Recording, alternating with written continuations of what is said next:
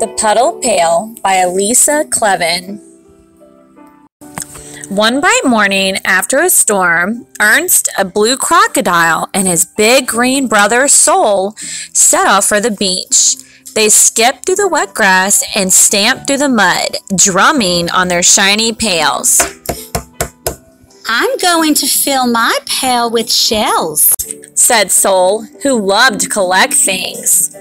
I'm going to fill my pail and sand and build a sand castle, said Ernst, who loved to make things. Maybe I'll find some rocks too, said Sol. All shapes and colors for my rock collection, and some feathers for my feather collection, and maybe some string. Sol bent down to pick up a rubber band. Just the thing for my rubber band collection. You ought to start a collection, Ernst. I don't know what to collect, Ernst replied. Collect something you really like, said Sol. Something that comes in all different sizes and colors and shapes. That way, your collection will be interesting. Ernst watched the clouds make flower shapes and seahorse shapes in the windy sky. He watched a little snake cloud puff up into a dragon. He watched a rabbit cloud curl into a ball. Clouds are interesting, he said. I wish I could collect clouds. Clouds! exclaimed Sol. You can't collect clouds. Think of something else you like. Stars, said Ernst, imagining the sky at night. I love to watch the stars. But you can't collect stars either, said Sol. They're too far away and too big and very, very hot. They look so small and cold, said Ernst. I wish I could collect stars. I know, said Sol. Starfishes. You could collect them. I like starfishes in the ocean, said Ernst, but I don't think I want to collect them. Well, Sol suggested, what about star shaped cookies? You could collect star shaped butter cookies with frosting. And star shaped chocolate cookies with sprinkles? Ernst added. And star shaped cherry cookies with toasted nuts, said Sol. Ernst's mouth water. I wish I could collect a bunch of cookies right now in my stomach. Just then, something caught Sol's eye a bottle cap lying in the puddle. Look at that sparkly bottle cap, Ernst. You could start a bottle cap collection. It's pretty, Ernst agreed, but I like the puddle. It's even more. The puddle? It looks like a little piece of sky on the ground. I wish I could collect it. You can't collect puddles, said Sol. Yes, I can collect puddles, said Ernst. They're not too far away, or too big, or too hot, and I don't want to eat them. Splish splash, Ernst scooped the puddle in his pail. Ernst, said Sol. You're not really going to start a puddle collection, are you? Yes, said Ernst. I am. He scooped up a green puddle, round as a saucer. Splish splash, it joined the other puddle in the pail. Sol rolled his eyes. Since you're going to stay here collecting puddles, I'll go down to the beach by myself and collect real things. Puddles are real, thought Ernst, and he searched for more to collect.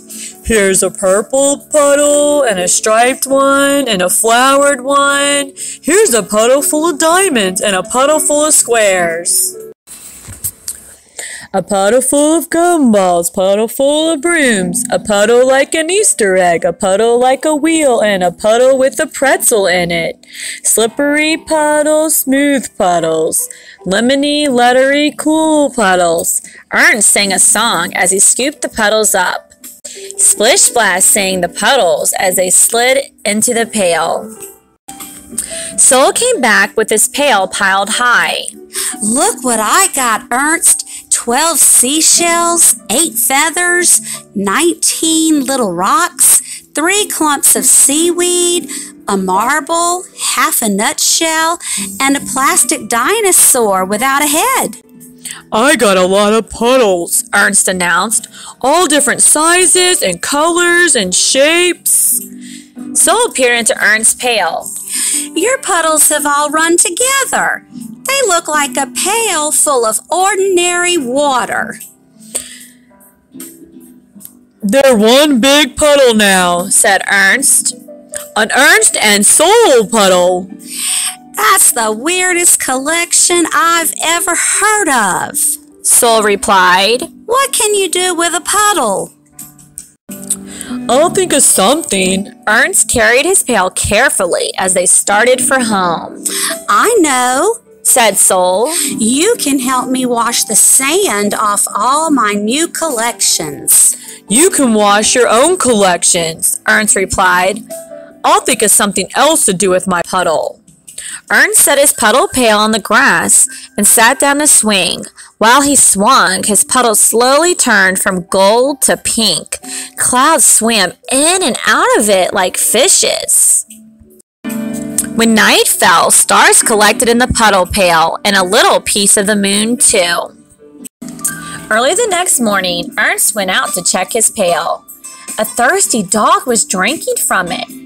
You like my magic puddle soup? Ernst asked.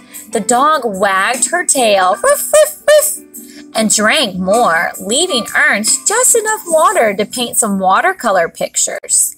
Ernst painted the dog, and he painted some clouds, and some stars, and many puddles. Sol came by, his pail filled with flowers and acorns and leaves. I started some new collections, he said. What have you got there, Ernst? A dog, woof woof, replied Ernst, and a painting collection.